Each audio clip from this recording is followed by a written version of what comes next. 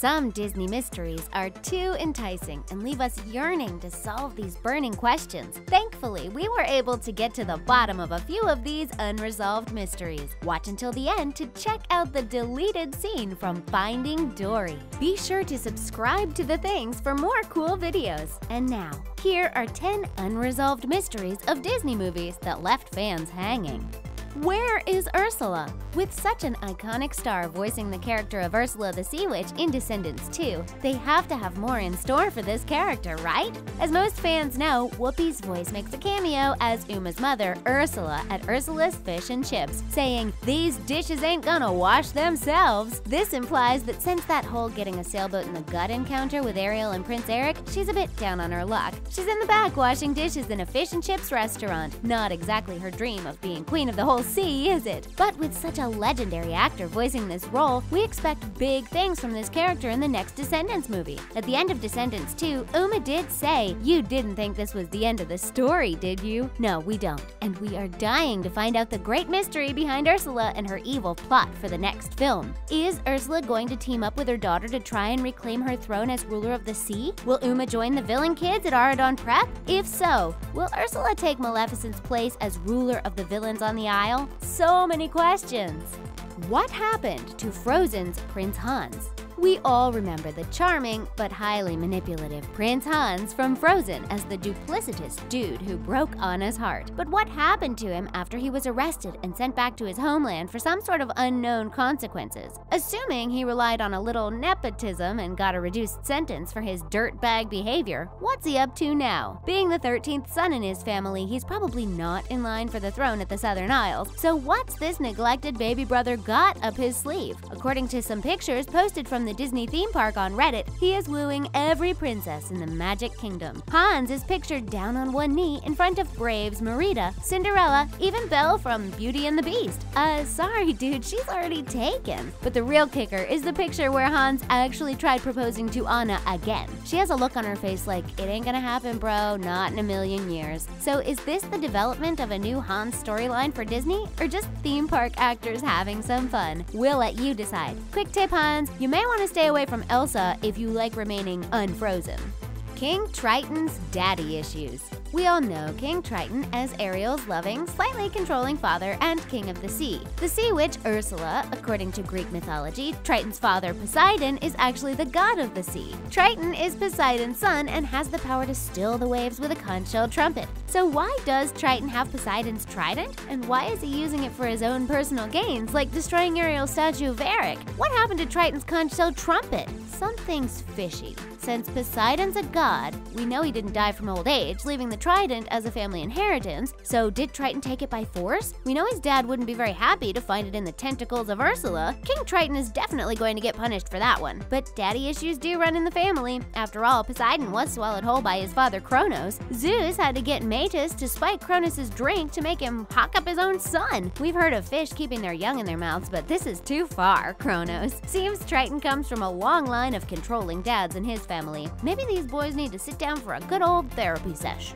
What happened to Sid from Toy Story? You guys remember Sid from Toy Story, right? He was the troubled dude who liked to blow up his toys and make his sister cry. After giving it some thought, Sid might need some serious counseling after Woody and his friends come to life and scare the bejesus out of him. Childhood trauma, party of one. This kid probably didn't have it so great as it was. His dad seemed like a neglectful alcoholic. His mom was never around. Of course, this kid had anger issues. But what happened after Woody made him wet his pants in his own backyard? Did he go on to become the next Jeffrey Dahmer? Or did he overcome his trauma and grow up and get a stable job. Boredom Therapy claims that Sid makes an appearance in Toy Story 3 as a garbage collector who can't afford to buy a new t-shirt and has to continue wearing the one he's worn since he was 10 years old. Bummer, Sid. We are happy to see that you landed a respectable job, but you may want to stop spending your checks at the racetracks and get yourself some new duds. We're curious though, does Sid have an irrational fear of toys now?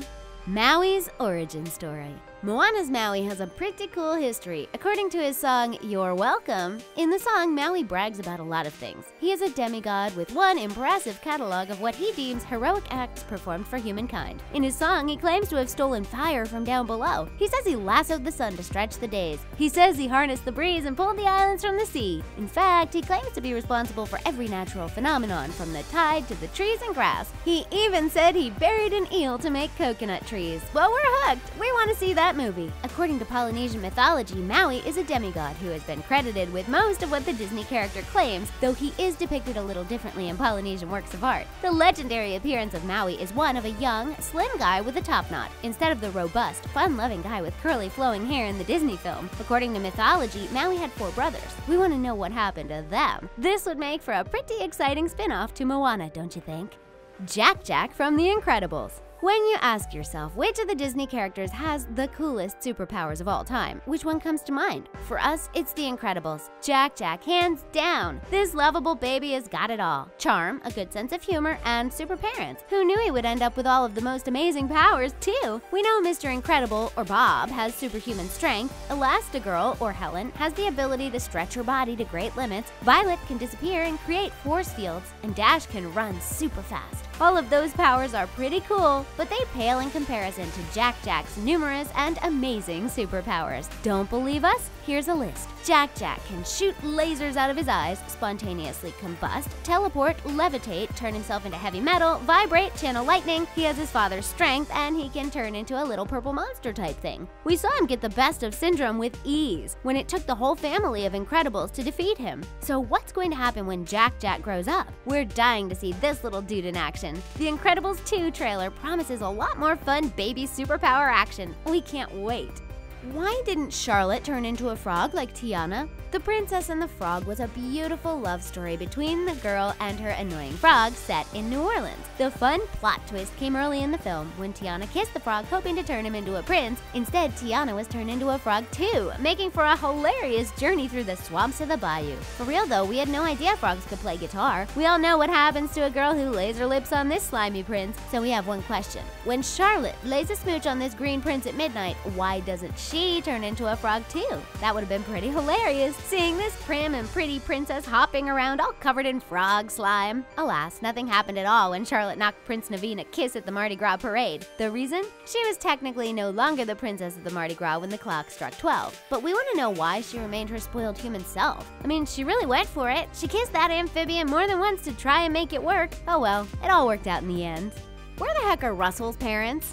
We loved the bond between Russell and Mr. Fredricksen in Disney's Up, but we were left wondering where are this kid's parents? He seems to be taking the latchkey kid thing to a whole new level. Seriously, did no one go out searching for this little scout the whole time he was hanging off a blimp in South America? You would think the cops would be combing the entire town looking for him. Disney plotlines are full of characters losing one of their parents. Disney kills off either the moms or dads pretty often, but this mysterious absence of parental figures is a bit unnerving. We know Russell is trying to get all of his badges so his dad dad will come to his Wilderness Explorer ceremony, Russell's badge winning, overachieving tendencies clearly stem from his need to be noticed and loved by his dad. But where has his dad been? And what's happening with his mom? Is she single and working three jobs to support them? Lucky for Russell, he finds a patriarchal figure in Mr. Fredricksen, and he even gets a dog to shower him with unconditional love. We noticed that Russell's dad never showed up at the ceremony in the end.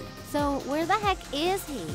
What happened to Doc Hudson? The Disney movie Cars had fans cheering for more. They loved the relationship between Lightning McQueen and Doc Hudson, the gruff, tell it like it is mentor to the fast and loose McQueen. So, what happened to this lovable character? We know that the iconic actor who voiced the role, Paul Newman, died in 2008, but fans were left wondering what happened to the character. In Cars 2, there is a brief moment between Mater and McQueen where Doc's absence is clearly felt, but no mention of how they lost him. So maybe they mentioned it in Cars 3? Nope, still no word about Doc's mysterious mysterious disappearance. Even though Lightning McQueen visits Doc's old stomping grounds and talks with his mentor and old friends, they still did not reveal what happened. Did they turn him into scrap metal and use his parts for the next Elon Musk spacecraft? Did he fall in with the wrong crowd and cut out of town? We think he probably died, but the real question is how? We may never know. One thing is for sure, Doc Hudson is truly missed by his friends and fans. May the road beneath your wheels be paved in gold, and may the wind always be at your back, Doc.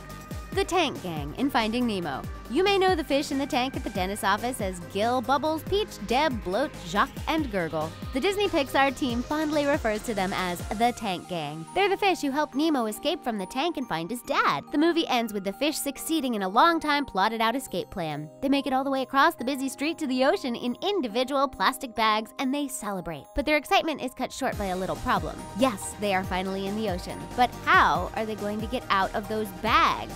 So, whatever became of the Tank Gang? This is one mystery we solved. According to an interview with the director, Andrew Stanton, the Tank Gang was going to have a pretty awesome return in Finding Dory. Think the fish version of the Mission Impossible Gang. They worked on a series of scenes for two years in which the Fish Tank Gang helps Marlin and Nemo find Dory's location. But they decided to cut it because it ultimately didn't support Dory's story. Still, the deleted, unfinished scene is pretty fun to watch. We salute you, Tank Gang. And that's it for 10 unresolved mysteries of Disney movies that left fans hanging. Thanks for watching. See you next time.